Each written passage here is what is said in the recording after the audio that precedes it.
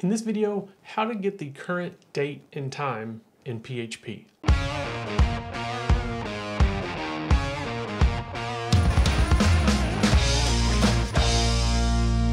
So if you're using WordPress, WordPress has a setting in the settings tab that gives you the ability to change the time zone.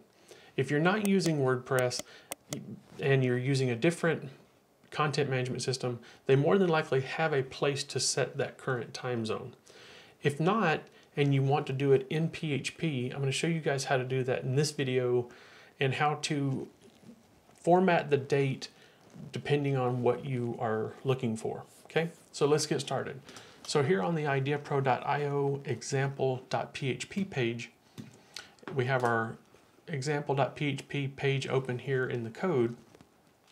The first thing that we're going to do is we're going to set our time zone. Now, the time zone for this server is set um, in the php.ini as America Phoenix, but we're going to go ahead and set it again here and we can change it depending on what we want to do. And how we do that is we date underscore default time zone set. Okay, so that's a function already built into PHP that you can set the time zone. And if you saw, there is a date default time zone get, so you can get the current time zone. Okay, so we can actually do that. Let's comment that out real quick, and let's do current time zone is equal to date default time zone get. Okay, then we're gonna come down here and we're gonna print out the current time zone. And we're gonna add a break after that just to keep it from running into this line of text that we have here. Okay, we're gonna come back over here and we're gonna refresh. And like I said, this is set as America Phoenix, okay? So then over here, we can change this. So let's say its current time zone is set the way it is. Now we want to date default time zone set, and we're going to take that out of there. Now in here, we need to use the current time zone that we want to set it to. All right, and the best way to find those is just go to Google and type in PHP default time zones. And right here at the top, you have list of supported time zones from the manual of PHP, from the PHP manual.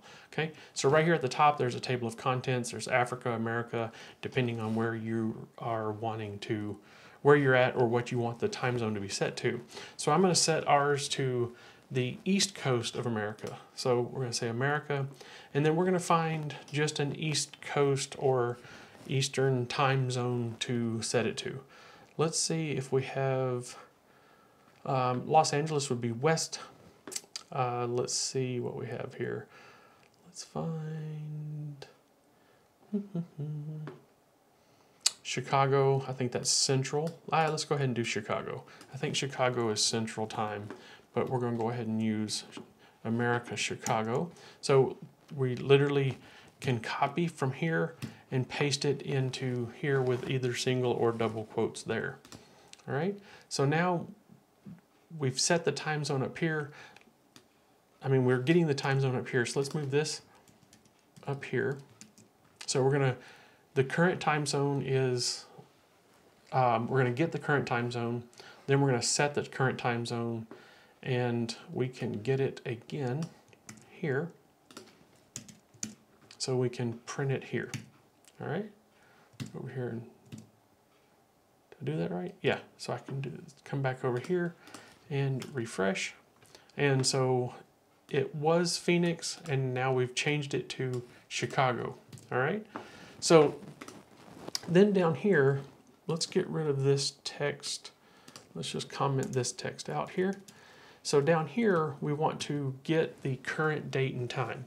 Now, most dates and times that are written in to a database are in a specific format. And I'm going to show you that format, and then I'm going to show you how we can change that to whatever format we want. All right.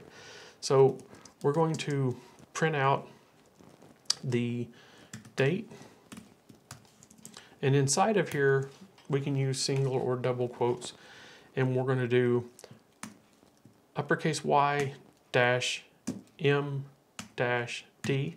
And those, the M and D are lowercase. And I'll explain that in just a second.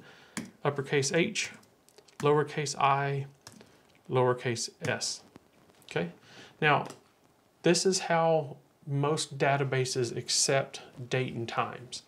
So it's capital Y is the four year representation of the year.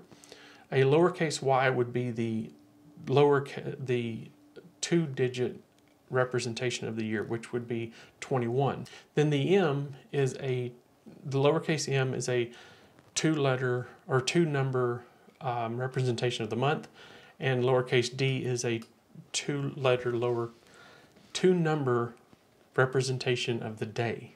That gives you year, month, day with hyphens in between each one. Now this is H, capital H is the hour, which is the um, the military time for hour, which would be 0 to 23. And then I is minutes. Now, this is where it gets kind of weird because M is used for month, so they can't use M for minutes, so I is used for minutes. And then S is used for seconds. Now, if we save this and come back over and refresh, it says today is um, August 9th, 2021 at 9.03 a.m. and that is the current time. Now, if I come up here that's the current time for Chicago. If I come up here and I turn off the um, setting of Chicago,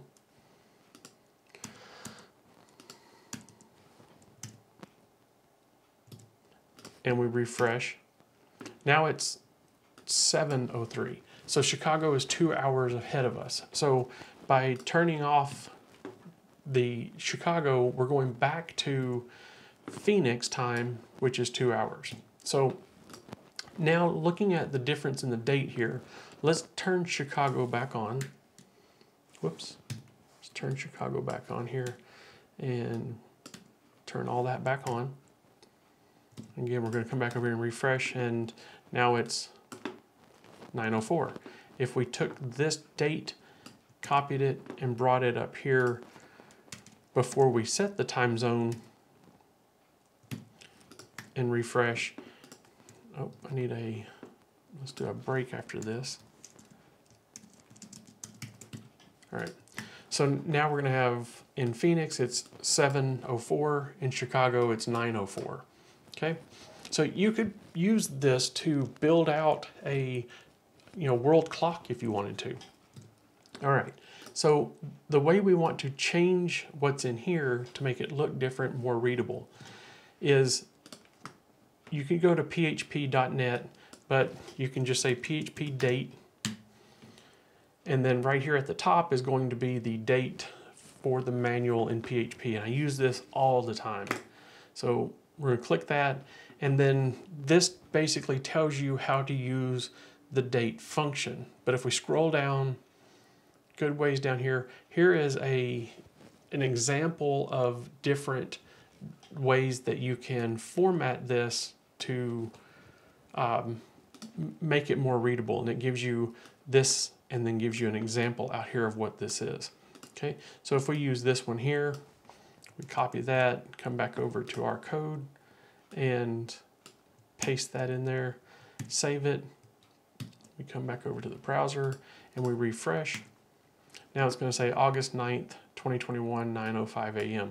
But we didn't change this one up here, so it's still using that um, kind of database formatted date. Okay, so it used to be here on the front page here for the date function what each one of these were, but now you have to scroll up a little bit and click on date time interface format, I think. Yeah, here it is. So yeah, you have to click on that and come into this date time format.